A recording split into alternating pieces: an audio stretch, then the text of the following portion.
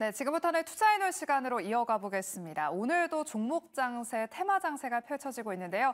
이런 시장 안에서 소외되지 않기 위해서 어떤 투자 전략이 필요한지 이슈별로 짚어보겠고요. 또 그 안에서 우리가 공략할 수 있을 만한 매수해 놓은 종목까지 살펴보도록 하겠습니다. 오늘 함께할 두 분부터 먼저 소개하도록 할게요. 레몬 리서치의 김민수 대표, M 인베스트먼트의 이주연 대표와 함께합니다. 두 분 어서 오세요. 아. 네, 그럼 오늘 저희가 다뤄볼 네 가지 키워드부터 한번 열어보겠습니다. 오늘 코스닥 지수가 또 1% 넘게 빠지고 있는데 지수에 대한 이야기를 좀 나눠보도록 하겠고요. 또 트럼프 수혜주 오후장에 어떤 투자 전략이 필요한지 그리고 제약 바이오와 오늘 또 자동차 관련 종목들 흐름도 좋습니다. 네 가지에 대한 투자 전략 한번 세워보도록 할게요. 먼저 첫 번째로 오늘은 코스닥을 긴급 진단해 보도록 하겠습니다. 예, 간밤 뉴욕 증시에서는 다우 지수와 S&P 500 지수 장중 최고치를 경신하면서 분위기 좋았는데 우리 증시는 특히나 코스닥 지수가 장중에 오전 장인 2% 가까이 빠지기도 했습니다. 아무래도 트럼프 이슈라는 변수가 생기면서 지수 상방이 조금 제한된 모습인 것 같은데 김희수 대표님, 오늘 코스닥 지수가 이렇게까지 많이 빠질 일인가요? 어떻게 보시나요? 네, 코스닥 볼 때마다 승질이 납니다. 네, 이렇게 어, 계속 또 소외를 시키는 게뭐또참 어이가 없는데요. 근데 일단 지금 미국 증시에서는 벌써 한 4일째 어, 러셀 리천이라고 하는 중소형 쪽들이 막 열심히 랠리를 달리고 있는데 한국의 그 비슷한 쪽의 중소형주가 갇힌 코스닥은 왜 이럴까라고 봤었을 때 일단 가장 먼저 수급이 안 좋습니다. 어, 돌아가면서 팔기 시작하는 모습들이 나오다 보니까 어, 그런 쪽에서 외국인과 기관 쪽, 특히 기관 쪽에서는 어, 사모펀드나 기타 법인 쪽에서 매도가 계속 어, 연 6월달 중반부터 계속되는 것 같습니다. 그러다 보니까 워낙 수급이 안 좋아 있는 상황들이고 게다가 시총 상위 쪽에서는 잘 아시는 것처럼 2차 전지, 에코프로, 에코프로 BM들이 포진되어 있다 보니까 그를 중심으로 매물이 커지면서 거기다가 또 같이 이어지는 어, 또 그쪽이 타겟이 되게 되면 프로그램 매도가 집중이 되겠죠. 그러다 보니까 전반적인 시총 상위 종목들에 대한 압박들, 삼천당 제약과 리노공업 빼고는 거의 압박이 들어오는 게 이게 가장 큰 현실이 아닌가 생각되고 있기 때문에 아마 지금 분위기 쪽으로는 여전히 어, 수급이 어느 정도 좀 변화가 들어오기 전까지는 아직은 참 대응하기 어렵다라는 쪽들이 맞지 않나 생각되고 있습니다. 네, 그럼 이주연 대표님한테도 여쭤볼게요. 저희가 준비한 자료만 봐도 지금 코스닥 지수만이 지금 연간 등락률 3% 넘게 빠졌습니다. S&P 500 지수 20%넘 가까이 또 나스닥 지수도 26% 지금 코스닥 첫 거래일, 뭐 올해 첫 거래일 기준으로 했을 때 연간 하락 종목 수가 지금 무려 1,100개가 넘어가고 있는 상황이거든요. 예, 금방 김미수 대표는 지금 수급이 좀 돌아서지 않는다면 코스닥 지수 더 빠질 수도 있겠다 이런 생각이 드는데 우리 이주연 대표님의 생각은 어떠신가요? 네, 일단은 수급적인 측면이 가장 크다고 일단 보고 있기는 한데 어, 최근에 또 가장 우리 시장에서 좀 부각을 받고 있는 게 트럼프 이슈입니다. 네, 트럼프가 이제 다시 좀 당선 가능성이 많이 대두가, 대두가 되고 트럼프가 이제 뭐 기정 사실화됐다, 대통령이 될 거다 이런 좀 인식들이 시장에 좀 반영이 되면서 어 이제 트럼프 정책에 대한 관심도가 더 높아지고 있죠. 근데 트럼프가 아무래도 이제 금융적으로 완화적인 어떤 정책을 좀 주도하는 그런 인물이다 보니까 이제 앞으로 많이 잡아놨던 기대 인플레이션을 높일 가능성을 좀 어, 대두시키고 있다 이렇게 보시면 좋겠습니다. 그래서 일단 미국 같은 경우에도 장기 국채 하락세도 조금 주춤하는 모습들을 보였는데 이런 것들을 좀 반증하는 모습이 아닐까라고 생각을 하고 있고요. 그러면서 기존에 이제 금리 인하 인하 그리고 인플레이션 하락 이런 것들로 인해서 좀 수, 성장주 쪽으로 그래도 수급이 좀 받쳐줬었는데 다시금 이제 성장주에서 가치주로 다시 좀 빠져나가면서 수급적인 이탈들이 일어나고, 일어나고 있는 게 우리 시장의 좀 가장 부진한 흐름이 아닌가라고 생각을 하고 있습니다. 또 가장 중요한 거는 일단은 제약바이오가 좀 힘이 빠질 때 그래도 2차 전지가 어느 정도 지지를 해주면은 코스닥 시장 전체적으로 어, 좀 잡아줄 텐데 아무래도 아직까지는 2차 전지의 바닥을 확인하지 못했다 이런 좀 어, 생각들이 지배적인 상황이다 보니까 여전히 코스닥 코스닥에서는 조금 부진한 흐름들이 이어지고 있다 이렇게 좀 생각을 해볼 수가 있을 것 같습니다. 네, 두 분 다 수급 문제를 꼽아 주셨습니다. 어, 지금 코스닥 시장 쪽으로 역시나 외국인과 기관의 매도 우위를 보이고 있고 개인만이 지금 코스닥 시장을 담고 있는데 예, 그렇다면 우리 개인 투자자분들이 코스피 대형주를 매수하는 게 좋을지 아니면 저가 매수 전략으로 예, 코스닥의 중소형주를 사는 게 좋을지 우리 이주연 대표님의 생각은 어떠신가요? 네, 일단은 아직까지는 중소형주 쪽으로 넘어가기에는 살짝 시기상조다라고 생각을 좀 하고 있는 상황이고요. 어, 오늘도 일단은 외국인들이 그래도 코스피 쪽에는 소폭이나마 좀 수급이 들어오고 있는데 이게 대부분이 그 삼성전자 향입니다. 그래서 삼성전자 쪽으로 외국인 수급이 현재 지속이 되고 있고요. 일단은 이 우리나라의 기존 좀 주도하던 그런 대형주들 중심으로 외국인 수급들이 아직까지는 지속이 되고 있습니다. 네, 일단은 이 외국인들 수급이 전환이 되고 이탈이 되기 위해서는 좀 이유가 필요한데, 그러니까 명 분이 필요한 거죠. 근데 아직까지 그 명분은 딱히 보이지는 않습니다. 근데 대신 강하게 들어오지도 않고 좀 관망세가 짙은 그런 모습들을 보이고 있는데 일단은 이번 주에 또 ASML 실적 발표가 있고요. 목요일에는 TSMC 실적 발표가 있습니다. 그래서 이런 실적 발표 결과들을 좀 지켜보려는 것 같은 그런 관망세가 짙은 분위기가 형성이 되고 있다라고 생각을 하고 있고요. 어, 결과적으로 봤을 때는 일단 ASML이라던가 TSMC의 실적 발표 이후로 어, 결과치가 나쁘지 않다라고 하면은 뭐 이탈이 뭐 크게 발생하지 않을 거고요. 어, 그런 이상 현재 어떤 주도주의 흐름 자체는 좀 당분간 지속될 확률이 높다 이렇게 보고 있습니다. 현재도 뭐 반도체라던가 자동차, 뭐 방산, 조선 이런 외국인들이 주도하는 업종들 중심으로 좀 강한 모습을 보이고 있기 때문에 이런 모습들을 좀 반증하는 거라고 보고 있고요. 그래서 여전히 대형주 중심의 시장이기 때문에 일단 그 중소형주들로 지금 당장 넘어가기에는 아직까지는 좀 리스크가 있다 이렇게 좀 보고 있습니다. 네, 그렇다면 우리가 또 시장에서 소외되지 않기 위해서 트럼프 trading 장세 안에서 우리가 어떤 수혜주에 주목하면 좋을지 이야기 나눠보겠습니다. 뭐 미국 증시도 그렇고 우리 증시도 그렇고 지금 온 경제 방송이 다 트럼프 이야기로 움직이고 있습니다. 오늘 관련 수혜 섹터로 뭐 그동안 방산과 건설기계 또 원전까지 수혜 섹터 꼽히고 있는데 원전은 아무래도 지금 체코 수주 소식이 앞두고 있기 때문에 오늘은 원전주들 좀 쉬어가고 있고요. 이에 반해서 방산과 건설 기계는 오늘도 잘 가고 있습니다. 특히 오늘 방산주, 건설 기계 시세 죽지 않고 살아 있거든요. 우리 김민수 대표님, 네. 내가 개인 투자자라면 난 이쪽을 보겠다. 방산과 건설 기계 어떤 쪽이 더 유망하다고 보시나요?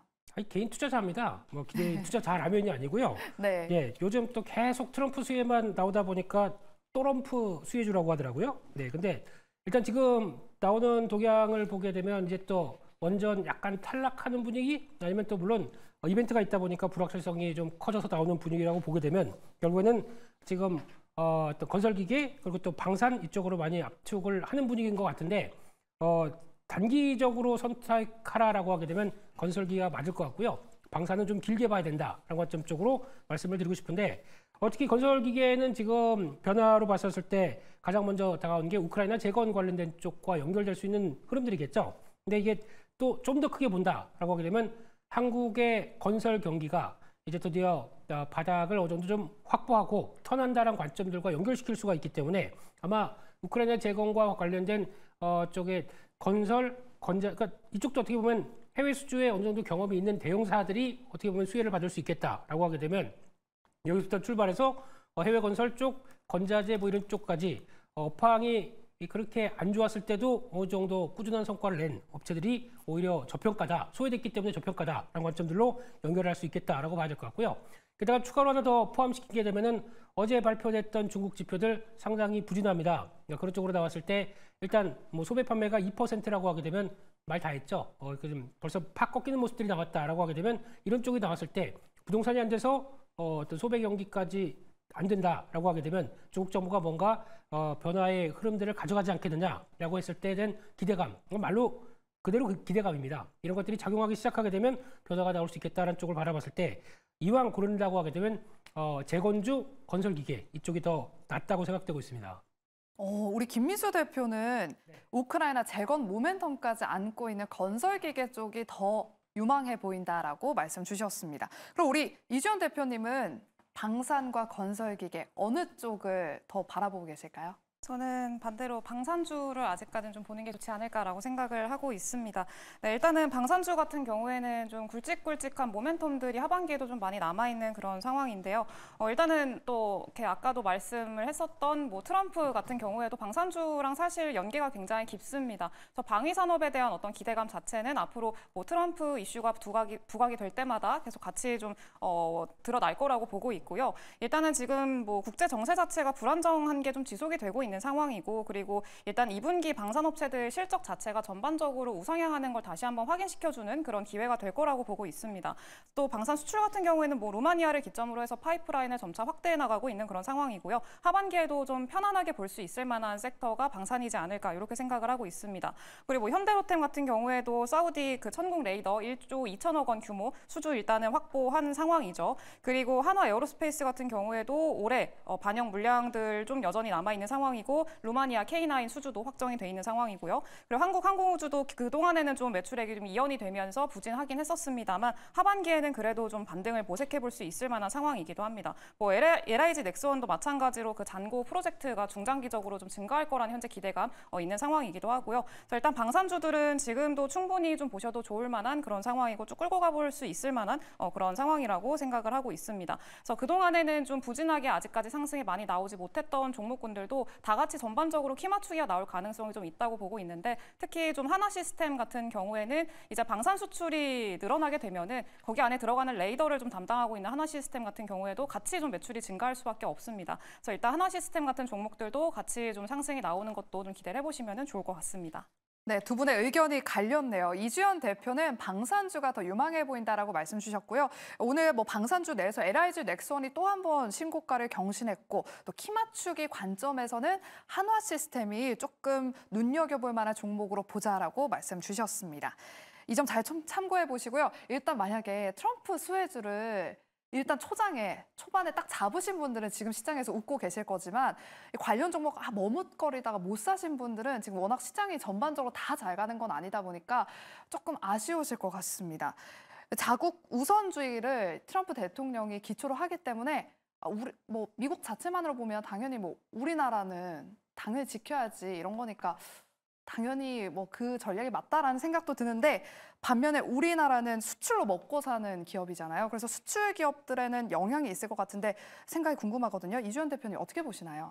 네, 일단은 당연히 영향은 좀 있을 걸로 예상이 되긴 합니다. 뭐 관세에 대한 이야기들도 계속 좀 유입이 되고 있는 상황이고, 뭐 관세 뭐 10% 정도 부과를 한다, 뭐 이런 얘기들 계속 나오고 있긴 한데, 어, 일단은 어, 지금은 좀 우리가 중점적으로 봐야 되는 거는 그런 영향에서도 좀 자유로울 수 있을 만한 기업들을 보셔야겠죠, 당연히. 그래서 일단은 어, 이 리쇼어링 정책은 사실 뭐 트럼프뿐만이 아니라 바이든한테서도 좀 이어져 왔었고요. 좀 지속적으로 연장이 되고 있는 그런 상황이기 때문에 그 흐름에 맞춰서 미국의 뭐 공장을 새롭게 짓는다던가 인프라를 새롭게 확보한 그런 기업, 기업들을 좀 보시는 게 좋을 것 같고 그래야 이제 다른 기업들 같은 경우에 뭐 관세라던가 이런 문제에서 어, 좀 타격을 받을 때 상대적으로 자유로울 수 있기 때문에 그런 기업들을 좀 보셔야 된다라고 좀 말씀을 드릴 수가 있을 것 같습니다.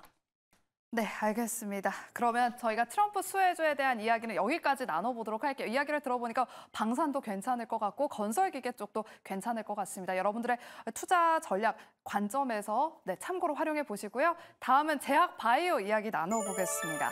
오늘 장 초반에 주목받은 제약 바이오 두 종목이 있는데 바로 삼천당 제약과 보로노입니다. 어, 삼천당 제약은 경구용 비만 치료제 개발 기대감이 높아지면서 급등세를 이어가고 있고요. 반면에 보로노이는 오늘 폐암 치료제 임상을 자진 취하겠다라는 소식에 오전 장에 10% 넘게 급락했다가 현재는 그래도 조금씩 낙폭을 회복하고 있습니다. 두 종목 어떻게 대응을 해봐야 되는 것인지 김민수, 김민수 대표님, 네. 삼천당 제약과 보로노이 지금 주가가 완전히 갈리거든요. 어떤 대응 전략이 필요할까요? 일단 한마디로 정리하게 되면 바이오주입니다.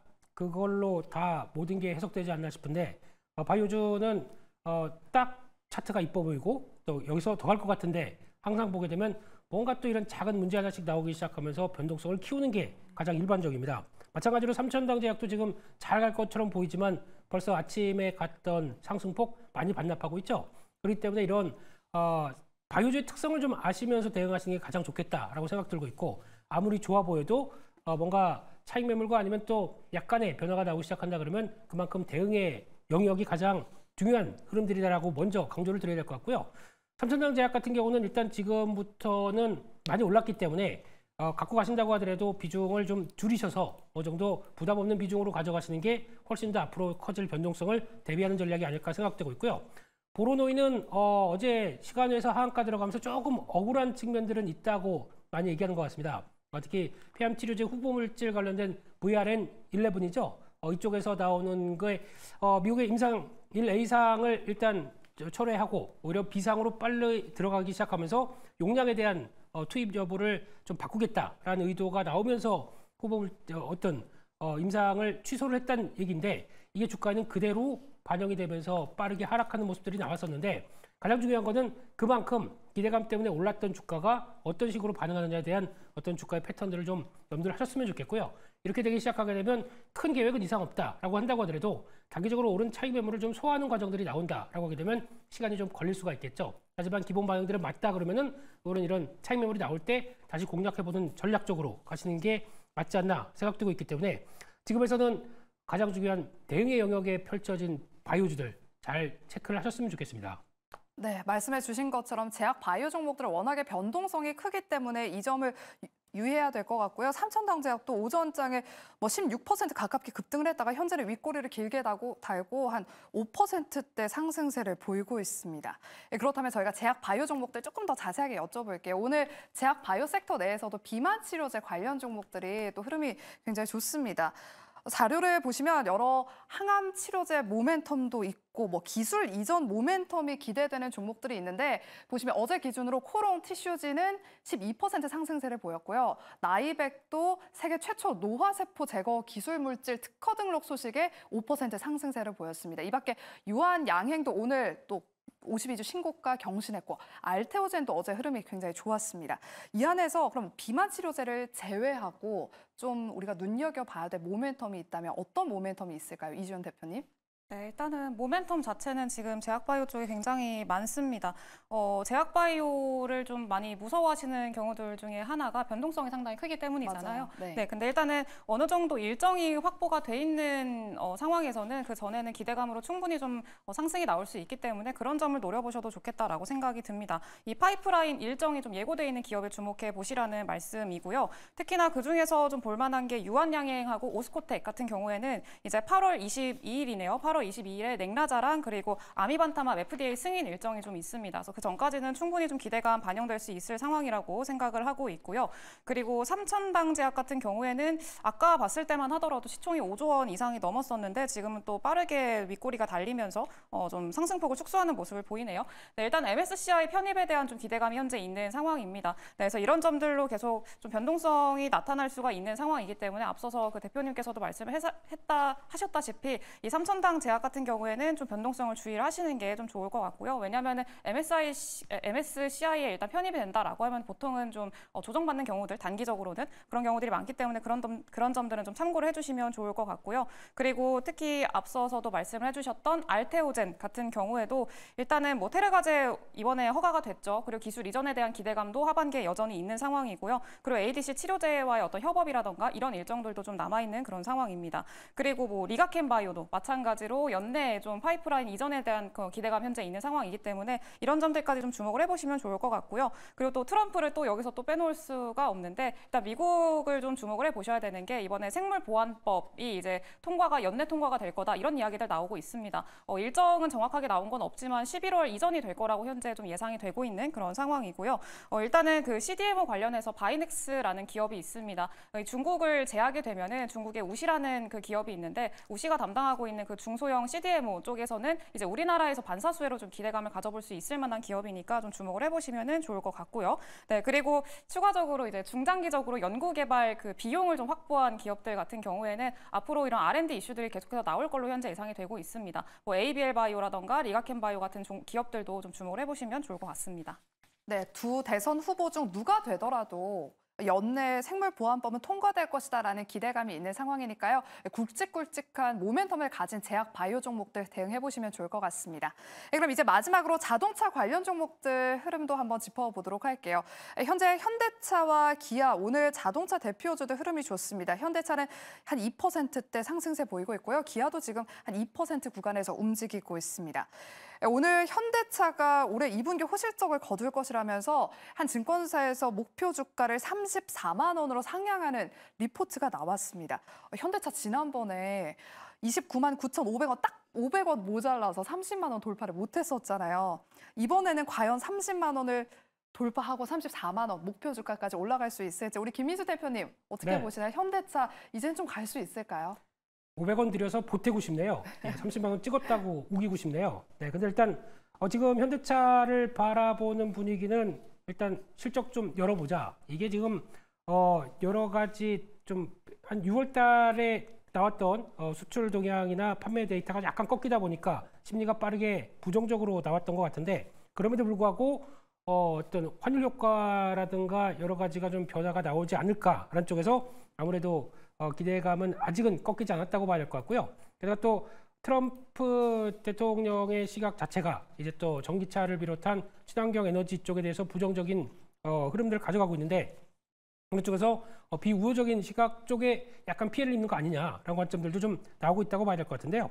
하지만 그럼에도 불구하고 이제 금리 인하가 이어진다라고 하는 흐름을 봤을 때는 아무래도 내구재 쪽에서는 가장 큰 수익이겠죠. 그렇기 때문에 기대감이 높일 수 있다라고 하게 되면 지금은 어, 조금만 더 밀렸으면은 사고 싶은 가격대까지 들어왔 올 뻔했는데 여기서 turn하네요. 그래서 여전히 아마 지금 27만 원대 밑에서는 계속 또 추가 매수 기회라고 생각하면서 어, 비중 확대 관점 쪽은 좀 자리를 좀 노려보자라는 쪽으로 바라봐야 될 것 같고요. 그런 쪽에서 어, 또 밸류업 관련된 쪽에서 가장 어, 또 같이 움직였던 흐름이기 때문에 그 뒤로 주가만 하락했지 밸류업 관련된 쪽에 뭐 철회한 건 없습니다. 그렇기 때문에 여전히 어, 메리트 높다라는 쪽에서 34만 원이 끝일까요? 네, 이상입니다. 네, 알겠습니다. 네. 34만 원을 넘어서 뭐 40만 원 선까지 한번 노려볼 수 있을 만한 날이 왔으면 좋겠습니다. 혹시나 자동차 대표주를 포트에 담아볼까 고민되시는 분들은 우리 김민수 대표님은 비중 확대 의견을 주셨다는 점 참고해 보시길 바랍니다. 예, 그럼 형이 가면 또 아우도 가야 되잖아요. 이제 자동차 대표 종목들이 지금 호실적 전망되는 가운데 부품주에 대한 기대감도 좀 높아지고 있습니다. 부품주도 워낙 너무 못 갔어서 이번에 좀 갈 수 있을지 싶은데 이주연 대표님 부품주들 간다면 어떤 종목들이 좀 갈 수 있을까요? 어, 일단은 지금 현대차한테 가장 좀 기대를 많이 걸고 있는 것 중에 하나가 인도 IPO 또 모멘텀이기도 합니다. 그래서 이제 인도 IPO가 이제 9월 달에 현재 지금 예정이 돼 있는데 인도 안에서 같이 좀 따라가서 그 부품사로서 어떤 좀 그 역할을 해낼 수 있을 만한 기업에 대한 기대감도 현재 같이 좀 지속이 되고 있다라고 생각을 하고 있습니다. 어, 그 중에 가장 대장격이라고 볼 수 있는 기업이 사실 SL이기 때문에 SL을 좀 어, 보- 보셔야 되지 않을까라고 생각을 하고 있고요. 일단 SL 같은 경우에는 당연히 이 그 현대차라던가 기아차가 이제 해외 사업을 좀 잘 하게 되면은 여기서 구조적인 수혜를 좀 기대해 볼 수가 있습니다. 이번에 그 현대차도 마찬가지로 좀 긍정적인 내용이 나왔었는데 이 상반기에 자동차 수출액이 역대 최고치를 찍었다 이런 얘기도 나왔었고요. 여기랑 함께 그 구체적으로 내용을 좀 보니까 이 북미 지역에서 수출액이 전년 대비해서 25.9% 증가를 했다. 그러니까 북미 쪽에서 증가를 많이 했다라는 거죠. 그래서 이런 점들까지 좀 종합시켜 봤을 때 일단은 좀 전체적인 현대차 이 자동차 판매 호조에 대한 어떤 기대감을 같이 가져갈 수 있는 거를 기본적으로 좀 어, 깔고 있는 상황이라고 보시면 좋을 것 같고요. 그래서 북미 시장뿐만이 아니라 이제 인도 시장까지도 함께 진출을 하게 된다면은 이중으로 수혜를 볼 수 있을 만한 그런 기업이 SL이라고 보시면 좋겠습니다. 어, 일단 SL 같은 경우에는 인도 법인의 이익 비중이 굉장히 좀 좋게 나오고 있는 고수익 을 나오고 있는 그런 기업입니다. 작년 기준으로 봤을 때 인도 법인의 이익 비중이 17%대, 그러니까 두 자릿수를 기록을 하고 있는데 이게 좀 상당히 다른 기업들에 비해서는 좀 놀라운 그런 어, 그 수치를 기록하고 있다고 보시면 좋을 것 같습니다. 그래서 이번에 IPO 하고 그리고 4조 원 정도 IPO 이제 그 현대차가 확보를 하게 되면은 이제 뭐 정치적인 어떤 관계나 이런 것들 때문에 아마 인도 내에서 투자를 감행을 할 거다 이런 현재 좀 예상들을 하고 있습니다. 그래서 그런 관점에서 봤을 때도 SL이 같이 좀 수혜를 볼 수 있지 않을까 이렇게 기대를 해볼 수가 있을 것 같습니다. 네, 자동차 부품주 내에서는 SL 눈여겨 보시길 바랍니다. 네, 그럼 저희가 지금 공략 가능한 매수해 놓은 종목 top pick주부터 알아보도록 할게요. 김민수 대표님 오늘 준비해 온 top pick주 매수해 놓은 종목 어떤 종목일까요? 네, 마지막 섹터에서 자동차 얘기를 했었는데요. 네. 어, 형보다 아우가 조금 낫습니다. 아, 그런 쪽에서 기아를 말씀드리고 싶은데 기아 지금 자리 나쁘지 않은 것 같습니다. 오, 어느 정도 네. 어, 거의 지지권 다 와서 어, 좀 turn할 자리가 됐다라고 생각 들고 있고요. 이번에 실적 기대감 2분기는 현대차보다는 훨씬 더 약 한 14% 정도 컨센서스 상향 쪽에 얘기가 많이 나오고 있기 때문에 그에 따른 변화를 본다라고 하게 되면 지금부터 어, 약한 목표가 한 15만 원대를 잡아보고 대응 가능하다라고 봐야 될 것 같고요. 어, 손절가는 지난번 어, 박스권이 이탈되는 11만 원대 정도를 바라보면서 지금 대응 가능하다 이렇게 말씀드리겠습니다. 네, 오늘 김민수 대표는 기아를 선택해 하셨고요. 우리 이주연 대표님은 오늘 매수해놓은 종목 top pick주 어떤 종목 보고 계신가요? 저는 ABL 바이오라는 종목 보고 있습니다. 네, 일단 ABL 바이오는 제가 아까 바이오 말씀을 드렸을 때 좀 어느 정도 실탄이 확보된 기업을 좀 보시면 좋다라고 말씀을 드렸었는데 ABL 바이오는 이번에 유상증자를 하면서 1,400억 정도 어, 자금을 확보하고 있고요. 그리고 올해 안에 이제 바이오 그 마일스톤 수치가 600억 정도 들어올 걸로 현재 예상을 하고 있습니다. 네, 그리고 이제 앞으로도 어, 올해 안에 또 이중항체 항암제죠. 항암제를 빅파마 또 기술 이전까지 예정을 해두고 있는 그 기대감이 현재 있는 그런 상황이니까 어, 좀 중심 관심 있게 보시면 좋을 것 같습니다. 네, 두 분의 매수해놓은 종목 정리해 보겠습니다. 우리 김민수 대표는 비중 확대 의견으로 현대차와 기아를 고민하고 있다면 기아에 한 표를 던져 주셨고요. 이주연 대표는 오늘 제약 바이오 종목 내에서 확실한 모멘텀이 있는 기업으로 ABL 바이오를 오늘 매수해놓은 종목으로 선택해 주셨습니다. 오후장 흐름 눈여겨 보시고요. 이렇게 저희가 준비한 순서는 여기까지입니다. 내일 오후 12시 생쇼 이 시간에 다시 찾아오도록 할 테니까요. 내일 이 시간에도 함께 해주세요. 오늘도 함께 해주신 여러분 고맙습니다.